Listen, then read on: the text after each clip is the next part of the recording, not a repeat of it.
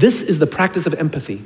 That if we're struggling to communicate to someone, if we're struggling to help someone be at their natural best, I'm tired of people saying to me, How do I get the best out of my people? Really? That's what you want? They're like a towel, you just wring them. How can I get the most out of them?